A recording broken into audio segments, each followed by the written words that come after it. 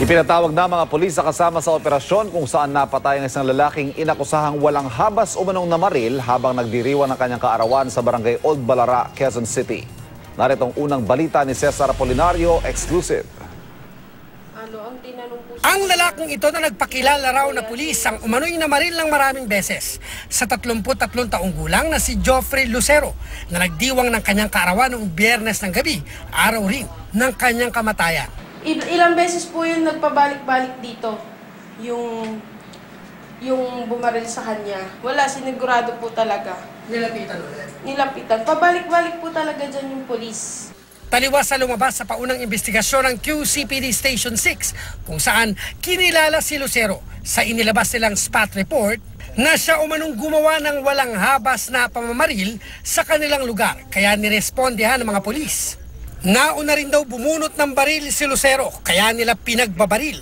Napanood ni QCPD Director Guillermo Eleazar ang CCTV na inilabas sa GMA News noong lunes at agad nag-utos ng investigasyon dahil magkaiba ang bersyon ng mga saksi at kaanak ni Lucero sa report na ipinasa sa Criminal Investigation and Detection Unit o CIDU ng QCPD. Nagpadala ng mga investigador ang SIDU para mag-request ng CCTV video sa barangay Old Balara.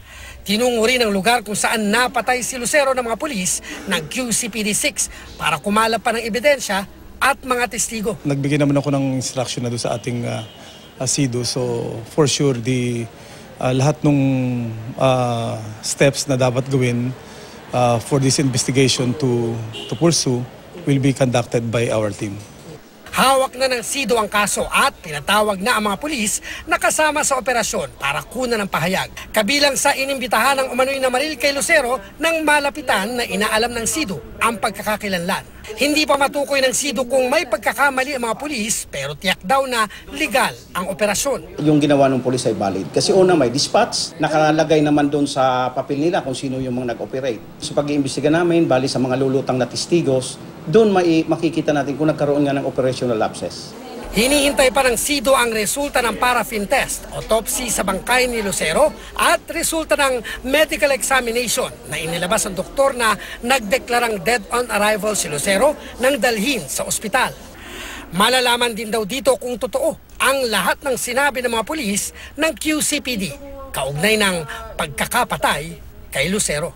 Para sa unang balita, Cesar Apolinario, reporting.